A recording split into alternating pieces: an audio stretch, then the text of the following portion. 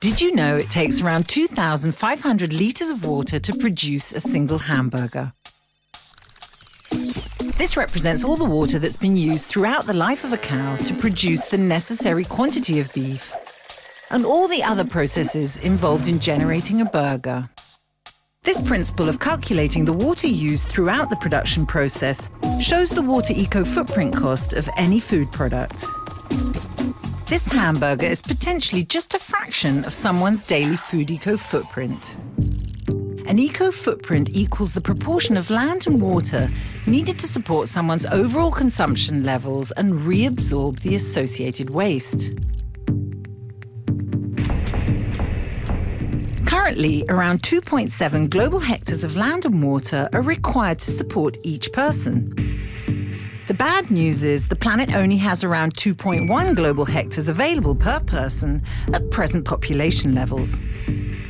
Your food eco footprint is a percentage of your overall eco footprint. Over the past 50 years, levels of population and food production have grown exponentially. This means an increase in greenhouse gases such as carbon dioxide, methane, and nitrous oxide. This creates a paradox where, on the one hand, a rise in levels of food production is speeding up climate change, and on the other, climate change is threatening food production. So, to feed everybody on the planet, we need to change our eating habits, as the products we choose to eat directly affect our food eco footprint. But how can we do this? Let's take an example. Normally, Jane carries out her weekly food shop buying products to prepare a conveniently quick meal for her family. But after seeing a TV show explaining what an eco footprint is, when she next goes shopping, she reads the label on the products and she asks herself the following questions Is it in season? Was it transported a long distance? Is it produced or grown locally?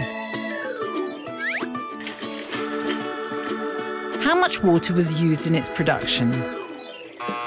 Does it come from a sustainable source? Or is it wild or farmed? Does it have a lot of unnecessary packaging?